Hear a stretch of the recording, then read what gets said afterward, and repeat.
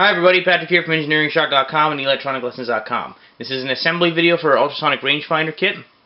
The kit is very simple. It is a, an ultrasonic rangefinder unit.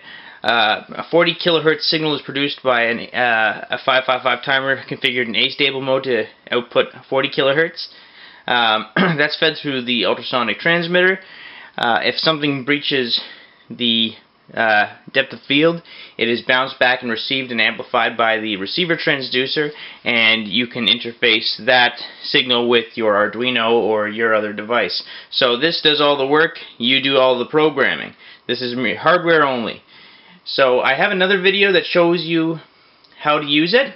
Uh, I even show you uh, the signal on the oscilloscope because depending on the distance between the uh, item breaching the field, uh, depending on how far away it is, the received frequency is different.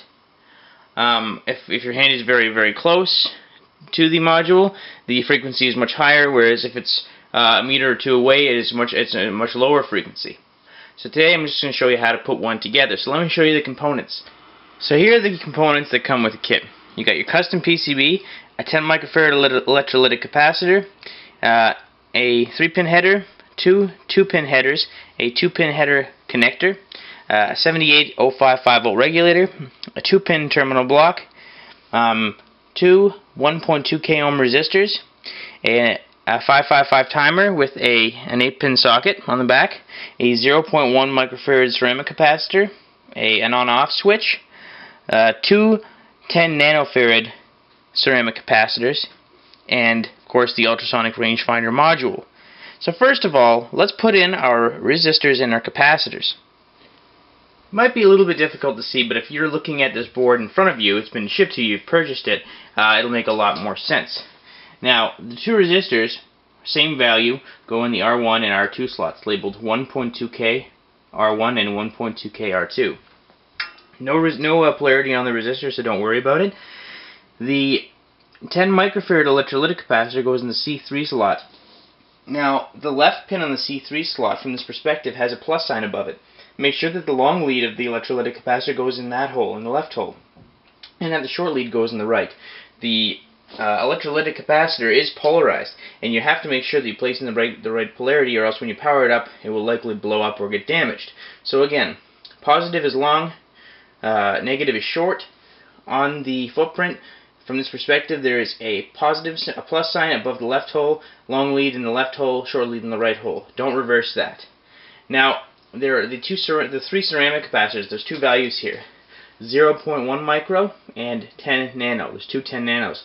The 10 nanos are actually on the board labeled 0.01U for 0.01 micro, which is 10 nano.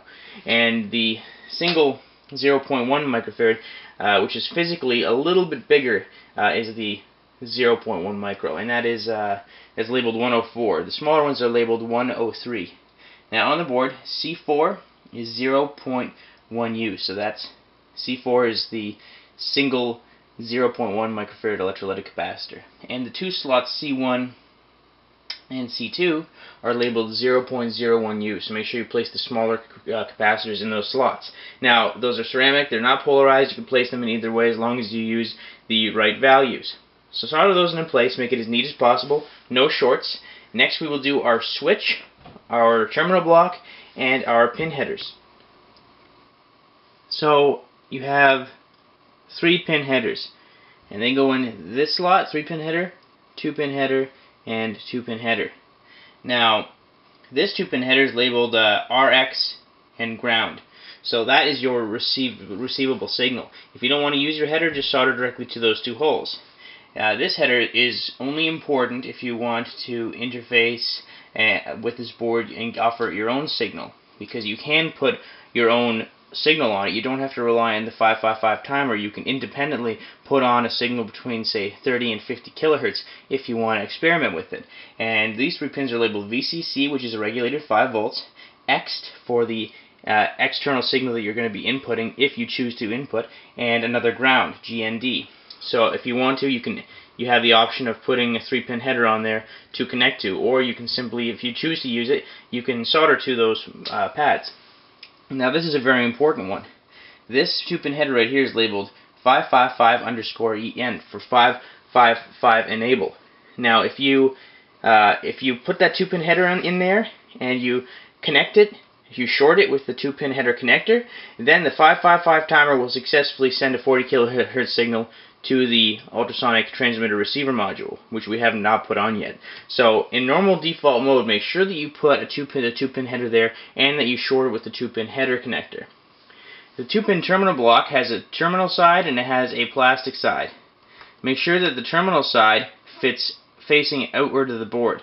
Make sure it's facing out. If you have it facing in, you're never going to be able to wire in your power supply. So, like so. Now, the switch. On one side of the switch, you might be able to see it, there's a little indent in the middle. On the footprint, there is a little indent on the top here. So from a bird's eye view, make sure that the dent on the one side is facing the upper side of the board or the dent on the footprint, which you might may or may not be able to see from this perspective. Now, when you place it in, you have to make sure that it, you have to make sure all of the holes are lined up. It's the trickiest component of the board to get fit in to, to, to fit into the board. Don't force it. Just gently line it up at 90 degrees and gently fiddle with it. And once all of the the whole once all of the leads, the five leads, find all five of the holes, it should settle in nicely and you can push it down flush to the board. Now you need a fine solder, fine soldering iron to get the, th the, the five pins soldered. So be very careful not to short anything or else it will always be on or always be off. So solder those components in, and next we'll do our 555 timer, our uh, socket rather, our 7805, and we will then we will finally do our ultrasonic transmitter receiver module. 7805 has a front side with black on it in writing. It should say 7805. On the back, there is essentially a whitish gray, which is actually ground. Now on the board, you might have trouble seeing it, but there is a white stripe on the back side of the 7805 footprint. Make sure that the back of the chip, the white side of the chip, faces the white stripe on the footprint and that the front side is facing the blue terminal block. If you turn that around, it will not regulate to 5 volts once you plug in your power supply.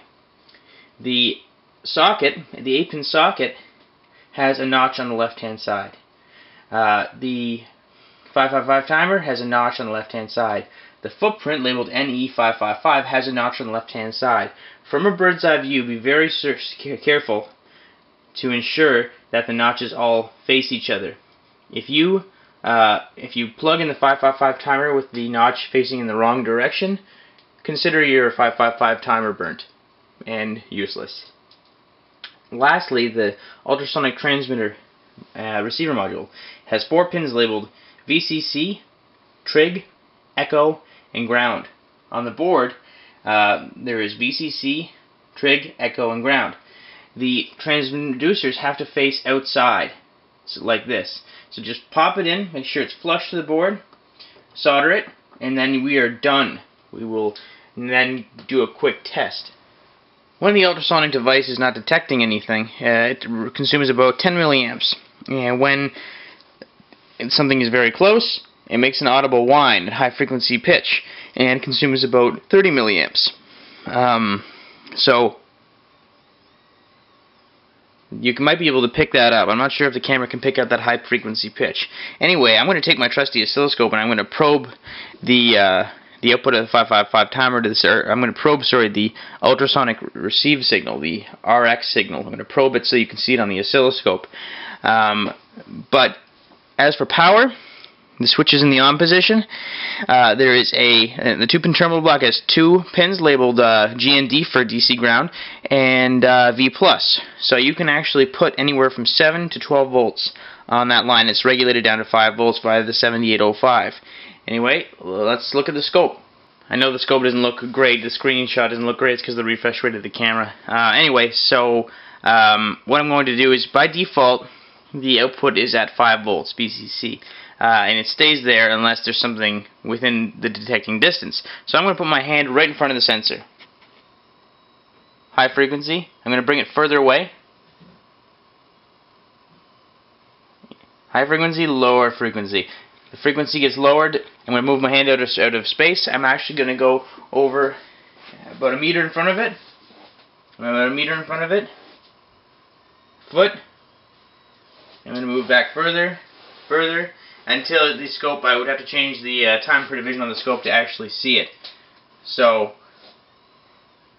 frequency will change based on how far away you are. So you can set that up to a counter module or a counter in software. Uh, you can set that. That's how you would would do it. Is you would you would uh, classify at what distance what the frequency was, and you could interface this easily with your Arduino. So that's the kit.